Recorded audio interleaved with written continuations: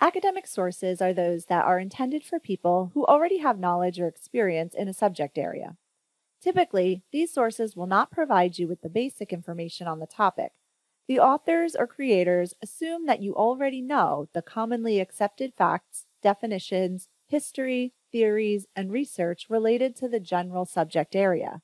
The content of the source will be more specific, likely focusing on narrow aspects of a broader issue. There are some sources that bridge the gap between general sources and highly academic ones.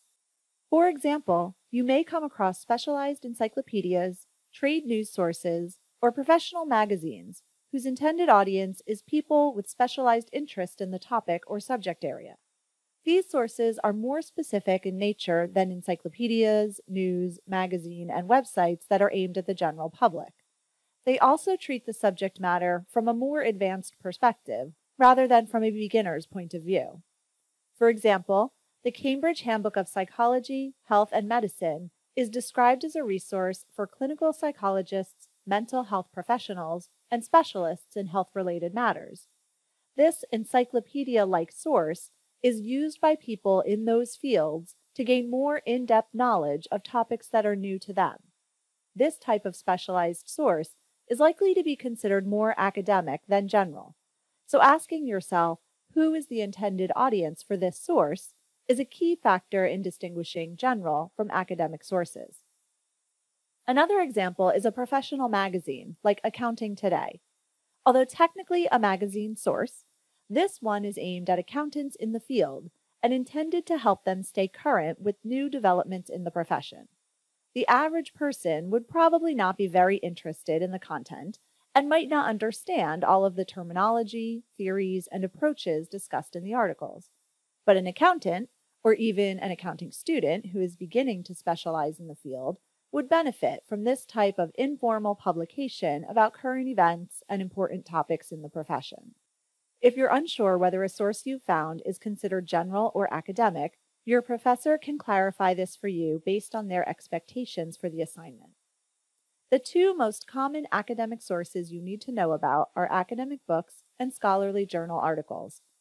Academic books and ebooks will usually cover several aspects or perspectives of a particular topic.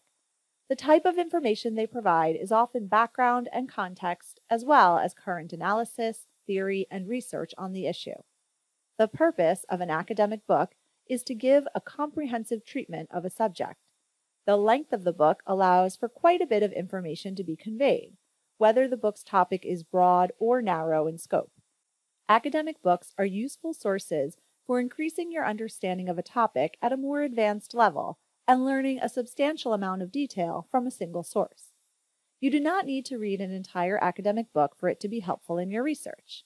You may choose to only read specific chapters or sections that are most relevant to your topic. Scholarly journal articles will likely be the most complex academic sources you encounter.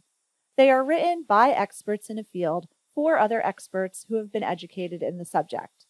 The type of information in scholarly articles is typically the methods, results, and analysis of an original research study. Scholarly articles may also be in depth analysis of a new theory, approach, or perspective on the topic. For example, one scholarly article related to veterans might be an empirical analysis of responses from veterans that were interviewed. Another is a review of many different studies about veterans' transition back to civilian life with an explanation of how a particular art therapy program can help with that transition. The second is not a scientific study in the way the first one is, but it is an in depth analysis of existing research and application of that research to a case study.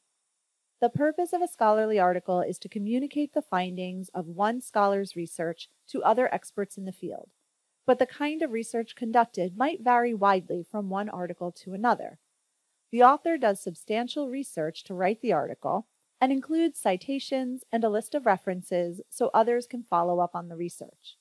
The key here is that the scholarly article is the original research study written by the person or people who did the research, not a summary of research written by someone else.